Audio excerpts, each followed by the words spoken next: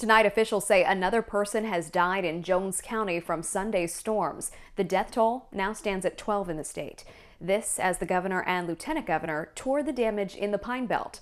Our Quentis Jones has the story. That's right. Here in Jefferson Davis County, the damage is as far as the eyes can see. The governor was on the ground here as people tried to make sense of scenes like this one right here behind me.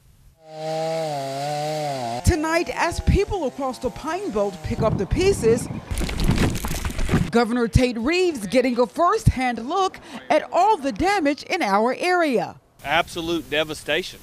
Uh, I don't I don't know any other way to describe it. The governor says while it's not unusual to have storms like this in April, it is unusual to have tornadoes that are blowing winds over 200 miles an hour, and it is unusual for them to stay on the ground for 40 or 50 or 60 miles. And on top of that, the coronavirus is still a threat.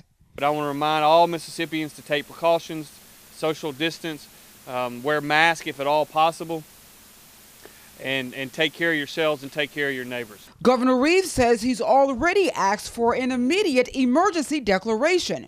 Currently in Mississippi, we have 11 federally declared emergencies dating all the way back to Hurricane Katrina that are currently open and five of those have happened in the last 90 days. With many in the state now facing a one two punch, the governor says we will get through it. We got knocked down and took a tremendous punch in the mouth.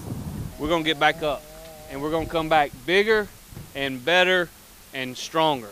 Now, officials say 30 counties are reporting damage in Mississippi. In Jefferson Davis County, I'm Quentis Jones reporting.